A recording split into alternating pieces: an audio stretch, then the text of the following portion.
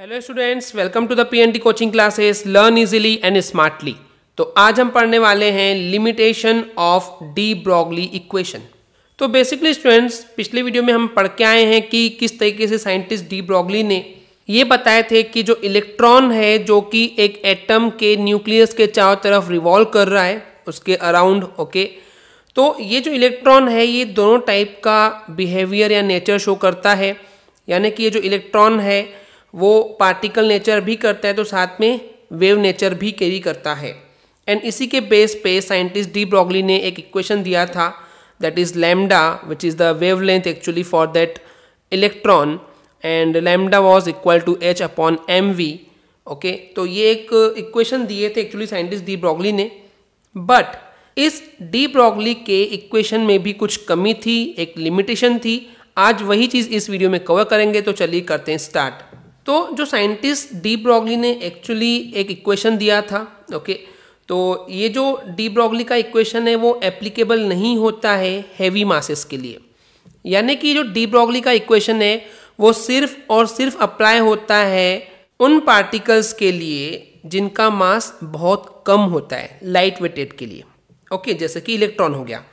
तो ये जो डी ब्रॉगली का इक्वेशन है, यही बोला गया कि एप्लीकेबल नहीं है यूज़ नहीं होता है हैवी मासेस के लिए।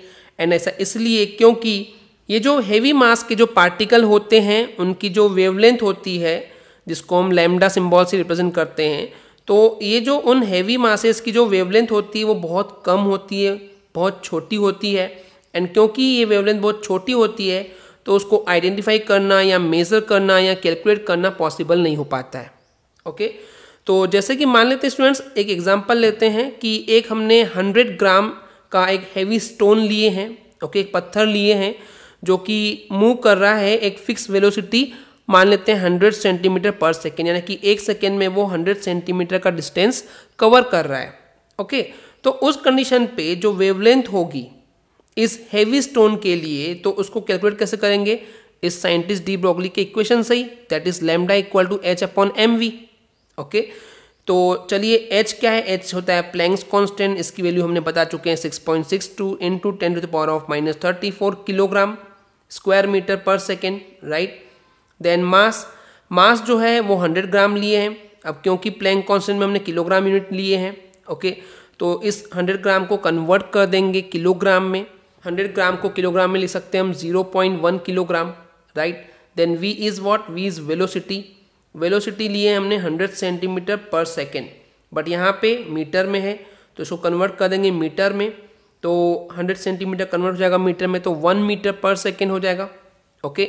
एंड जब इसको सॉल्व करते हैं, कैलकुलेट करके तो आंसर मिलता है 6.62 point six two into ten to the power of minus thirty three metre. तो जैसे कि स्टूडेंट्स, अभी हमने ये कैलकुलेट किए हैं, दैट इज़ वेवलेंथ तो उसका जो वैल्यू आई है वो है 6.62 point six two into ten to power of minus thirty three metre okay तो ten to the power of minus thirty three इसका मतलब ये है कि जो ये वेवलेंथ है वो बहुत ही छोटी है। एंड इसको आइडेंटिफाई करना लिटरली पॉसिबल नहीं होगा। Okay okay? तो इस वजह से यहाँ से कंक्लूजन आता है कि जो हैवी पार्टिकल्स होते हैं, इन हैवी पार्टिकल्स में पार्टिकल नेचर जो है वो डोमिनेंट होता है। मेन यानी कि जो फीचर है जो नेचर है इन हैवी पार्टिकल्स का वो पार्टिकल नेचर ही कैरी करते हैं। एंड वेव नेचर जो है वो इम्पोर्टेंट नहीं होता है। क्यों? क्योंकि ये जो हैवी पार्टिकल्स हैं उनकी वेवलेंथ बहुत कम होती है तो ये वेव नेचर को उतना क्लियर कट वे से आपको रिप्रेजेंट नहीं कर सकते हैं। ओके okay, तो इस वजह से जो हैवी पार्टिकल्स हैं इनमें जनरली जो डोमिनेंट जो इम्पोर्टेंट फैक्टर होता है वो पार्टिकल नेचर होता है और वेव नेचर देखने को नहीं मिलता है। Okay okay? वहीं पे अगर हम दूसरे साइड से बात करें तो जो माइक्रोस्कोपिक हैं माइक्रोस्कोपिक यानी कि बहुत छोटे जो एलिमेंट है ओके या उससे भी अगर उसके और टुकड़े कर दो जैसे सब माइक्रोस्कोपिक पार्टिकल हो गए, जैसे कि इलेक्ट्रॉन हो गया ओके तो ये जो बहुत छोटे पार्टिकल है, जैसे कि इलेक्ट्रॉन हो गया, जिसका मास बहुत कम होता है, बहुत हल्के होते हैं, अगर इनके लिए बात करें तो जनरली हमको यहाँ पे जो नेचर है, वो वेव नेचर जो है, वो डोमिनेंस दिखता है, वो इम्पोर्टेंट होता है। क्यों? क्योंकि लाइट वेटेड होते हैं। तो इन लाइट वेटेड पार्टिकल्स के लिए इनका जो वेव लेंथ है, वो ईजिली ऑब्ज़र्व किया जा सकता है। Okay okay? तो इस वेवलेंथ को मेज़र करना बहुत ईजी होता है, इस टाइप के लाइट वेटेड पार्टिकल्स जैसे कि इलेक्ट्रॉन के लिए। तो इसके लिए भी चलिए एग्ज़ाम्पल देखते हैं कि अगर हम इसी फॉर्मूले का that is de Broglie equation का यूज़ करेंगे, इस इलेक्ट्रॉन के लिए तो इसकी वेवलेंथ कितनी आती है?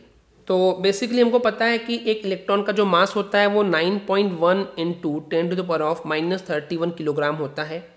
एंड जिस वेलोसिटी से ये मूव करता है तो वो है six into ten to the power of eight metre per second okay तो इस कंडीशन पे अगर हम डी ब्रॉगली इक्वेशन का यूज़ करते हुए अगर वेवलेंथ को कैलकुलेट करते हैं तो फॉर्मूला है lambda equal to H upon M V H होता है प्लैंक कॉन्स्टेंट जिसकी वैल्यू हमको पता है six point six two into ten to the power of minus thirty four kilogram square metre per second होता है।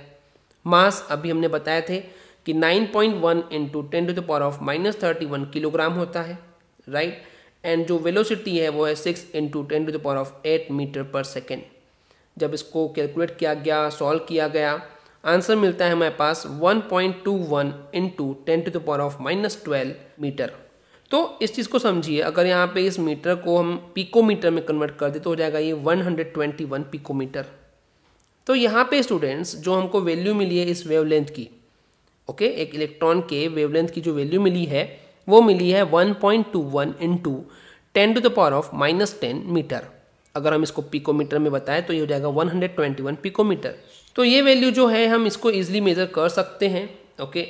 एंड ये जो हमको वैल्यू मिली है 121 पिकोमीटर तो जो एक्सरेज होती है, उन एक्सरेज की जो वेवलेंथ होती है, वो उनके लिए भी 121 पिकोमीटर ही होती है, ओके? इतना क्लियर है स्टूडेंट्स तो अब इस चीज़ को समझिए कि क्योंकि हमारे डेली लाइफ में हैवी मास सब्सटेंसेस जो हैं, वो जनरली हम यूज़ करते हैं एंड हम लोग इतना इलेक्ट्रॉन के जितने लाइटर मैटर को यूज़ नहीं करते हैं in the real life okay तो अगर हम स्टूडेंट्स जब कभी डेली लाइफ के पॉइंट ऑफ़ व्यू से बात करते हैं तो वहाँ पे ये डी ब्रॉगली का इक्वेशन जो है, वो अप्लाई नहीं होगा, क्योंकि डी ब्रॉगली का जो एक्चुअली जो फीचर उन्होंने एक्सप्लेन किए थे, वो वेव नेचर के लिए ही एक्सप्लेन किए थे ओके तो उन्होंने एक्चुअली जो इक्वेशन भी दिया था डी ब्रॉगली का इक्वेशन वो वेव नेचर के लिए ही था, क्योंकि वेव नेचर की ही एक प्रॉपर्टी होती है वेव लेंथ ओके तो इस वजह से जब कभी हम डेली लाइफ के पॉइंट ऑफ़ से बात करते हैं तो जो वेव नेचर है, वो हैवी ऑब्जेक्ट के लिए कभी भी पजिस्ट नहीं करता, उतना इंपॉर्टेंट नहीं होता है। तो क्योंकि इस लेक्चर में हम ऑलरेडी समझ चुके हैं कि हैवी पार्टिकल्स की वेवलेंथ क्योंकि बहुत कम होती है, उसको मेज़र करना पॉसिबल नहीं होता है। इस वजह से तो डेली लाइफ में भी जो हम चीज़ें यूज़ करते हैं, वो हैवी वेटेड ही होते हैं। ओके तो जो डेली लाइफ के पॉइंट ऑफ़ व्यू से हम बोलना चाह रहे हैं कि डी ब्रॉगली इक्वेशन जो है वो उतना इंपॉर्टेंट नहीं होता है। ओके स्टूडेंट्स तो यही लिमिटेशन थी इस डी ब्रॉगली के इक्वेशन की। आई होप आपको क्लियर हो गया होगा। अगर आपको हमारी वीडियो से कुछ भी सीखने मिला या नॉलेज मिला तो प्लीज़ हमारे चैनल को सब्सक्राइब कीजिए एंड वीडियो को लाइक ज़रूर करें। आज के लिए इतना ही। Thank you